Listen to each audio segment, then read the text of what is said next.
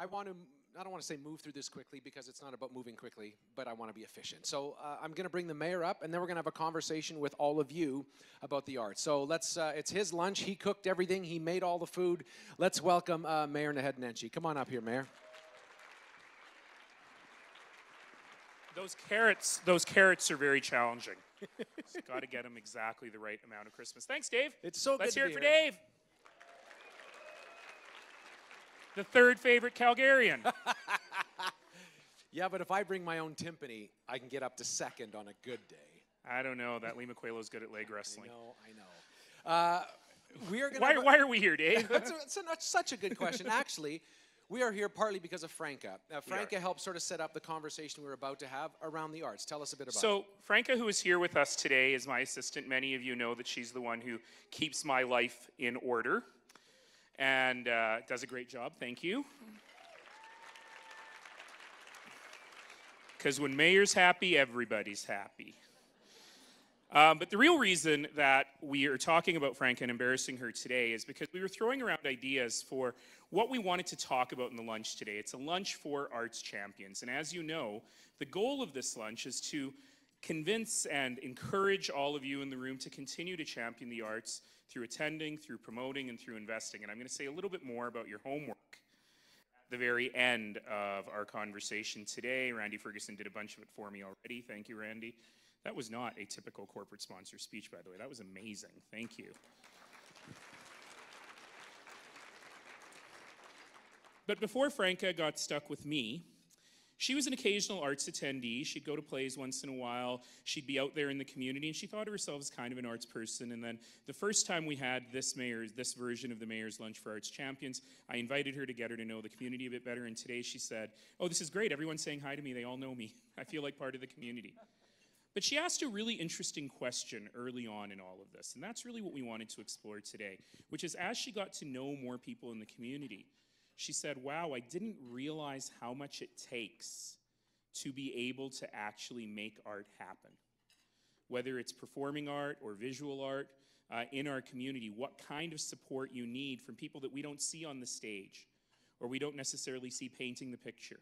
And how does all of that come together? And that's really what an arts champion is about. It's not really just about people who write the check. The people who write the check are very, very, very important.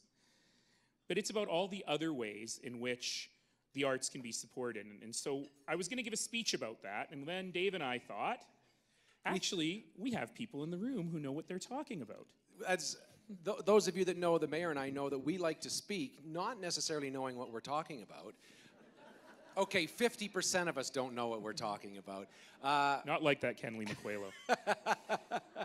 But there's people in the room who can. So we came up with, and we are thinking about, what are some questions that if you don't know the art scene, you might not know? Like, how much does it actually cost to put on an opera? Or if you're doing a big musical, wh- wh- what's the price tag for that? And so we thought we'd ask. Now we know Bob McPhee's here. He runs uh, the Calgary Opera and a great guy and a great champion of our city. So wherever you are, Bob, I know they're going to bring a mic to you. Uh, I, I, there you are. I did some research on uh, the opera, and by that I mean Sherry did some research on the opera. Uh, $5.9 million budget. They employ 20 full time employees, two part time employees, and they end up working with about 150 people on contract depending on the shows they do, and they do a lot. Bob, tell us a bit about the cost to put on a, an opera. the cost and what it takes with people to do Yeah. a big, big show like you do at the Jubilee. The cost. Um, hmm. Why are I you don't mean the asking cost to your opera hair. To go first. Uh, well, there's uh, two famous quotes about opera. One is um, the most expensive no- noise known to mankind is opera. That was Moliere. And the other quote is the only thing more expensive than opera is war. So when we start off with that point, uh, the average of uh, production, three shows at the Jubilee, and when I say average, this is not new sets or new costumes, it's existing repertoire, $800,000 for three nights. Wow. About 150 to 200 contract employees. If you get into uh, new works, which I am very proud that we have a strong reputation in Canada for doing the most new works and creations. You, uh, thank you. uh, that 800,000 goes up to 1.5 million and then can go through the roof. So that's the cost. Uh, what can you do for us other than write more checks? Um, well, and, and we've been saying the word champion. I think it's about being champions on our behalf in the community with other citizens of the community and with all of the three levels of elected officials. Uh, I'm sure many of my colleagues are in the same boat. It's 10 years since we've seen an increase in funding. So there's my plug. There. Be an advocate with our elected officials and all of the citizens in your community on behalf of the arts and the role that it plays. Bob Thanks, McPhee. Thanks, Bob. Bob, Bob, I have one little thing that I want to highlight. Uh, I know he told me I wasn't allowed to ask any follow-ups because we're late, but I'm going to do it anyway. All right. So, eight hundred thousand bucks a night, more if it's a new for show. three nights. For Oh, three sorry, nights. for three nights. For three nights. That's what I meant to say. Sorry. Say a million bucks on average because the new shows are way more than that. Yeah. You are you do great work. You sell out every show in a two thousand person house. There's no way that you can actually make that budget on your box office, is there? No, no. I, uh, you know, I've often been asked by board members, uh, great, we were sold out. How much did we make? And in the arts, it's not how much we make, it's how little we lose. so uh, there, it's impossible on box office to uh, break even without uh, government support, community support, individual support, contra relationships. It takes all of it to bring it together in all of our art forms, not just ours. Great. Thank you. Thanks, Bob. Well so, done. So, Dave, that's a big company. Right. Obviously, we have lots of people who do not have $800,000 budgets. No. Uh, Nikki Loach, I know you're here somewhere, runs Quest Theatre. Quest Theatre uh, tours Alberta, putting on all kind of shows, oftentimes musical and often not. Where are you, Nikki? Wherever you may be, stand up, be proud, and tell us a bit about your sense of your there. bu- and what it takes to do I'm your over shows. here, Dave. Hi, Nikki. Hi, Nikki. Do you see me? You don't There see you me are. from the stage. You look Hi. beautiful. How are you? Well, tell us. thanks. I'm good. Good. So you want to know how much Yeah. touring theater for young audiences costs in Alberta? Um, a- again, I will echo uh, Bob with uh, if you pull a, a piece off the shelf without any sort of development, a sort of it, it, it does depend, but if you pull it off the shelf and you do it, uh, we figured it would cost about thirty-five thousand dollars for a tour. um, uh, in, that goes into the school systems Yeah. around Alberta. Now that jumps when we go into a national tour or an international tour because we're getting into that uh, market as well, and that will rise to about eighty thousand dollars. Um, and on top of that is, you know, our operating costs on top of that. That's just for production costs, but to actually keep the building running and salaries happening, there's probably twenty-two thousand dollars on top of that. Nikki, are you paying these people anything? No, we are not. um, no, we, we do our best. Um, uh, actors going into the school system really do not earn a ton of money, and we're constantly trying to pay them more. Uh, but the, the reality is that the school systems don't have a lot of funding either to pay for us to come in. So we're constantly trying to fill that gap between what the schools can afford and what it actually costs to create theater. Wow. There's just another perspective, and I we could talk forever, Nikki, but can we thank uh, Nikki Loach? Thank you so much. Thank you. And say hi to Chris, would you? Uh, okay, our, we want to talk about boards. A lot of people know that whether it's the opera or theater companies, a lot of them have boards. Do you get paid to be on a board? How do boards work and what do they do? Wait, you're supposed to get paid to be on a board? Bob McPhee just spit out his drink. Uh, we're going to talk to Donna Livingston. Uh, she runs the, the Glenbow, and a lot of you know that there's many people that work at the Glenbow. They have great um, programs, but they also have a board. So she's going to give us a bit of perspective on that. Where are you? in the back here. Hi, Donna. I'm going to talk vaguely this way and ask you to I don't talk. see her at all. Where and we'll ask. Tell us a bit about boards and how they work in your world. Um, our board is really amazing. We have 20 people on our board, and I would say that they are um, diverse, coming from a, a whole variety of things that support what Glenbow is trying to achieve. They're artists, they're art collectors, they're people knowledgeable in the field. But I think for me as a CEO, what they really bring is challenge. They, they challenge our ideas, they challenge, push us to go forward.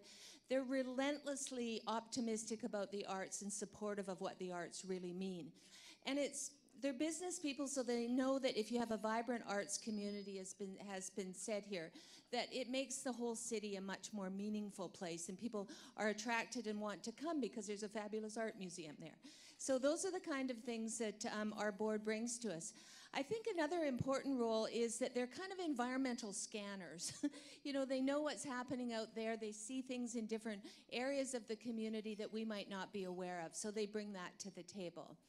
Um, we don't pay them. We give them a really bad museum coffee, and we don't pay parking or anything.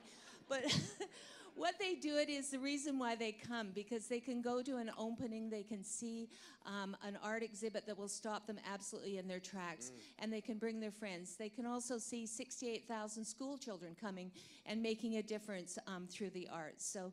Um, we couldn't do it without them, and they're an amazing colleagues to have. A lot of them are at the table, and one of them bought the table today. So thank you. That's so good. Thank you, thank you so much, Susan. Uh, and to all of those who volunteer on boards, many of you know that I was the chair of the board of what is now Arts Commons before I became the mayor, and uh, I have a lot of love for people who give up their time to serve on boards. This next question is a super fun one um, because it actually is a, it's a broader question, and it's about how arts organizations in the city co- collaborate and cooperate with one another. But the question is extremely specific. Yes. Can I ask it? Go ahead. Yeah. How come companies don't just rent costumes from somewhere? Isn't there just like a major storehouse of costumes? Shakespeare, witches, all in one place uh, that people can go to instead of having to develop stuff. So we asked, we thought, I think Susan McNair reads here. She's at Theatre Calgary, wherever you are. Hi, Susan. Where are you? There you are, over here. So here's a, here's an example. Uh, you guys have half a million, half a million, 500,000 pieces of costumes, including all the stuff you'd see at Christmas Carol or uh, Little Prince or all those sorts of things. So how does how does costumes work for for the arts? How do costumes work? Um, well, uh, Theatre Calgary and ATP, we share. We have a nice big room under the Max Bell Theatre that is full, I mean, full of uh, costumes that have been on our stages. So we, um, we have a building, a piece in our building that we both use the costumes from, and we lend to other companies. But then designers also want to create more costumes specific to shows, and so we add more to that. But we don't have lots of witches because we only have witches. Franca has taken all of no. Oh. Because we only It's have witches if we've joke. done a play that has witches. So we don't have those kind of, we mostly have clothes. I feel like there's a play coming up in the city, opening on March 20th, that has witches in it. Macbeth at the Shakespeare Company. We had Go ahead. fake witches earlier this fall, but they weren't dressed like witches. See? But all of that though, again, so that people know, you, you go to you go to see Christmas Carol and you think somebody designed that, somebody made it, somebody built it, somebody took care of it, somebody got it off that person after the show, cleaned it so that it didn't stink for the next show. All of those things happen, and people are hired to make that happen. Uh, and so Theatre Calgary is one example of that, but the, every theater company in town, the ones we see here, uh, they all have to ma- find a way to make that work. Thank you so much. and if much. you're doing a show like The Little Prince, which Theatre Calgary just did to extraordinary success, Yeah. congratulations for taking that company betting risk uh, to Theatre Calgary, which is extraordinary. That experience, the design, is such an incredible part of that. I was so happy to see Anton Mm-hmm. uh, on this stage as a young, thoughtful designer because when we experience the theater, and as you all know, I love the theater, Mm-hmm. we have to experience the whole thing. It's not just the actors naked on the stage. Yeah. Well, Not Michael's not with us anymore. Yes. Yeah. Um, but the whole design, the lights, the sound, the costume, those are real talented artists themselves that we don't always think about when we're newcomers to this world. and speaking of artists, uh, uh, this next guy is uh, I'm a huge fan of Michael Bernard Fitzgerald. and I'm just going to pick on you, Michael, but uh, his album, released on Friday, I Want to Make It With You, used to be in the world of music. You, uh, you put out albums and you made bajillions of dollars, and that's what you did. Now, there's no money in making an album, there's money in touring an album. So that's how you can do it. Well, he's put out nine albums uh, with labels and independently, and live things. He puts on incredible shows, just finished a massive show at the Jack. Uh, and he did a show, Dave Kelly Live. I don't know if you've heard about it. It's a great show. Uh, recently, where he I heard it's good, but I haven't been able to go. I'm just saying, you could have. Uh, For those who saw the show, another inside joke. another, he was snowed in New York. Did try to make it to us. Uh, but uh, first of all, uh, let's welcome Michael Bernard Fitzgerald. Hi, Michael. Nine albums at the age of 15, ladies and gentlemen. Yeah. Tell us a bit about uh, the world you need, and it's like you've toured across Canada, down to the Bahamas. You've done a lot of work. But as far as a, ca- a city supporting music and supporting someone like you, what, what do you think is necessary to make that happen, or what helps you make that happen? Before I answer that, I actually was hoping that uh, I was hoping that I got to be asked about the costumes. what, what are the costs for your costumes? well, no, I was gonna, I was actually going to ask the, the, the representative from the theater Calgary. Um, I was going to ask uh, what what do they do now that you don't uh, hand wash all the dance belts. That's I lost my job, right? automation. It's an Yeah. automation It's thing. a I got. there's a machine now. I mean, Don't it- get me it- and I started. Don't get me started. Nice touch For those who don't know what a dance belt is, be happy you don't know what a dance belt is. If you don't know what a dance think, belt is, uh, and you've always wanted to see a guy in a thong. Think a jockstrap, but just more theatrical. yes, exactly. Um, the the best way I feel like for people to support the musicians in this city is to uh, I, I feel like uh, we're in a time that people like to kind of curate their lives. They curate the, the businesses they support and, and the, the clothes they wear. I, I, I think that um, the best way to support it, even if you aren't in a position to buy the music, I, I think I think sharing that and making that something getting behind an artist, I think is the best way. I think even more more importantly than financially is the best way to to help keep that art going and alive. You know, Michael, there are many things I love about you your talent, your musicianship, it's amazing. But what I think is super cool about you is how you bring other musicians and artists into the work that you do. Um, what's the maximum number of people that you have been on a stage with? Too many. Um, no, we uh, we performed well on Monday night. We performed with, with 300 people on stage at, at, in the finale, and uh, we uh, we had about 15 minutes to prepare for that too, which is always fun. Well, I'll never forget your concerts at the Jack Singer Concert Hall, one of the most moving musical ex- experiences of my life, which started with just you and ended with just you. But in the middle, there was what? A marching band, a full opera company, um, and just an unbelievable amount of local musicians. There must have been 500 people on stage with you. There was a lot, and those shows have been really fun uh, lately because it's it's less about. Uh, in the beginning, we were just trying to make this big visual and this big sound, and and now we just uh, performed on the uh, at the end of January. It's now so much more about community. So you know, downstairs in the basement of the Jack Singer, we have a curate, like a, a family-style taco supper, and then and then we've got a cafe in one of the dressing rooms, and and everyone gets to feel like the evening is their own. So it's it's uh, it's cool. And they get to play on stage with other musicians, form collaborations, get a chance to play with you. To me, that's one of the really exciting things about the Calgary arts community. There are other places where the arts community is a bit dog eat dog. You know, they don't want one another to succeed. And what we see consistently here in the visual arts and music, in performing arts, and the reason that artists tell me they move here for their career instead of leaving here to go do their career somewhere else is precisely because of that incredible support throughout the community. It's something that, that makes me smile every time I hear about it. It's amazing. And I know you're all thinking, oh, sure, Michael, yeah, it's all fine and good to have a bunch of music up there, but why don't you ever get like a bunch of spin class people up there? Well, he has. So um, his last concert, how many people spinning were on stage while you're playing? Too many. Too many. Why not? Uh, let's talk about film. Uh, we're going to talk to Ramin right now, Ramin Ashrati Yazdi, who is a Calgary filmmaker. Who, uh, I mean, that's another whole other art form that happens here. That Well, first of all, let's say that's what you just watched, his work, and how great were those films?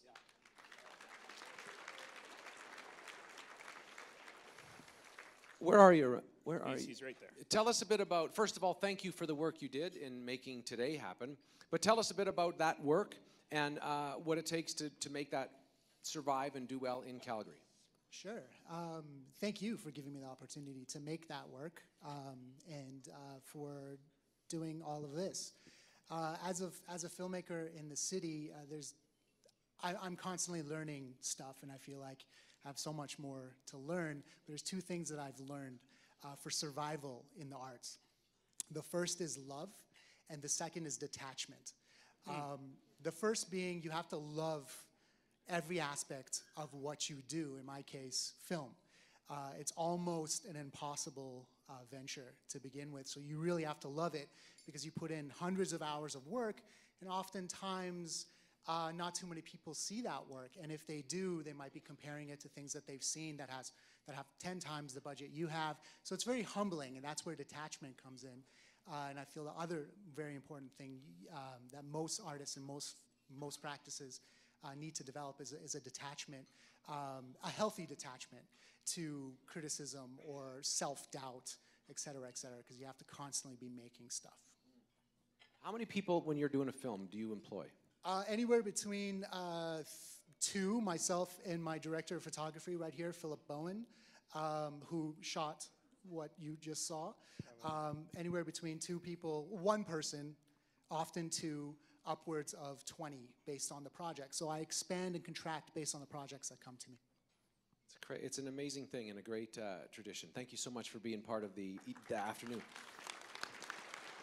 Thank you, and we, we hope to be able to have a lot more young and emerging filmmakers and a lot more established filmmakers continuing to film here in Calgary with the opening of the Calgary Film Center in just a few short weeks. I'm very excited about that.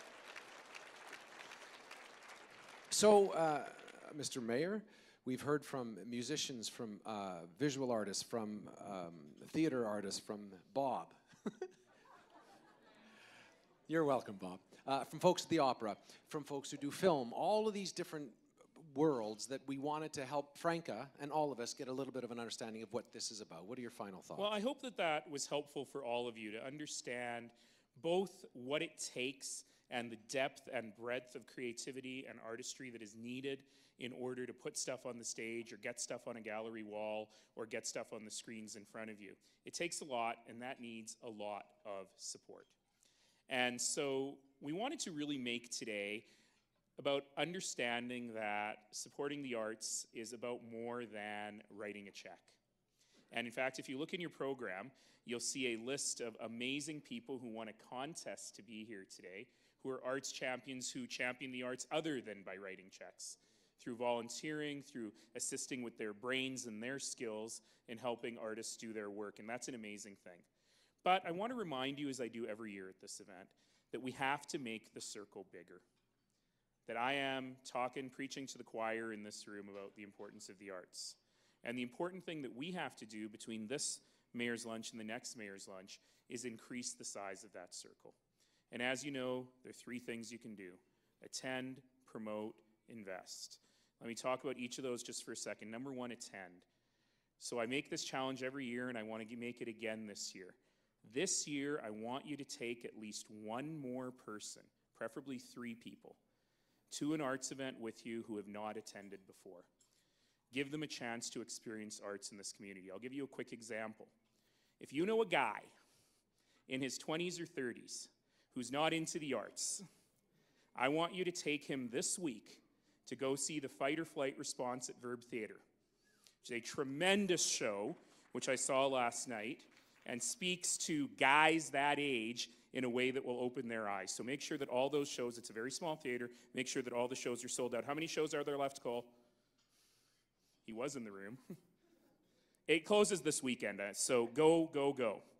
But do that throughout the year and build the circle and expose more people to the arts, whether you're taking them to a gallery opening, uh, whether you're showing them the wonderful exhibits uh, at the Glenbow Museum or you're taking them to see the performing arts or a live music concert. That's one. Number two, promote. Do not be shy. Talk loudly and proudly about your support for the arts in the community. Do what I just did with that one show about anything you see or do that's great. Tweet about it and Facebook about it and talk to people face to face about it. Uh, and just make sure that people throughout our community and throughout this country know about the incredible value and depth of the arts in the community. And number three, if you can write a check, write a bigger check this year than last year. And I'm very serious about that because there are many, many, many people in our community who want to give. They want to give and they just can't right now, not in these economic times. So if we are lucky enough to be able to write a check, we not only need to write a check, as Randy says, and resist the urge of not writing that check, but write a bigger check than last year. Because we need to make sure that these artists are continuing to work with the massive, huge salaries that Nikki is paying them. Um, but that they're able to not only do what they love and move their careers forward, but also continue to make sure that Calgarians in those schools that Nikki goes to, in those student matinee performances, and throughout this community have access to the kind of arts that ignite the imagination, that ignite creativity. It's not for nothing that Calgary's Arts Development Plan is not called Calgary's Arts Development Plan, because that would be boring. It's called Living a Creative Life and a community that is creative, in which every single citizen has the opportunity to live that creative life, is a community that ultimately is economically, financially, but more important, socially sustainable. That's how we build community together by supporting one another and by supporting the creativity in every one of us, and particularly the creativity of those who make their way as artists. So, thank you all for being arts champions. Thank you all for being here this year. We'll see you next year when Ken Limaquelo is the host. And. We'll do a leg wrestle for it. I'm in. I'm in. Oh, one other thing, just because he does this for us every year and he's such a wonderful guy and such a great community guy, I'm giving Dave a couple of plugs. Go see Dave Kelly live. I hear it's good when I'm not in it. Um, but number two is there's a wonderful little side project called Best of Calgary, which is giving us an opportunity to really talk about what is wonderful about our community. And that conversation is a community, a conversation that we need to have in this community. So, Dave, I'm giving you a chance to plug it. Best, best of, you remember Fast Forward magazine. Uh, so we're just taking that and saying we need to still celebrate greatness. In June, we're going to have a big event with a party at night. And during the day, we're going to say, what is the best of Calgary? Who are we proud of? What can we make better? And how do we do that? So And, and if you really, really want to thank Franca for her amazing inspiration for today, the thing she loves the most in the world was those four years in a row in the fast forward thing where I won Calgary's Sexiest Man. So just make See. her happy again. When you got the six pack, what do you do, right? It's worth it. Uh, and before we go, Mayor, I just want to make sure we thank TELUS Youth Arts Showcase folks for helping us, all our sponsors, the Juno Prize Pack people, Strategic, again, thank you very much, and all of you for being here. And All the great volunteers who organized today. It's an incredible amount of work. Thank you all. have a great time. Thank you for cooking everything. It was so good. Thank you. Thank you to everyone here at the Stampede. I'm just, I just keep saying thank you. Good night. Thank you all. Thanks, everybody. Have a great day.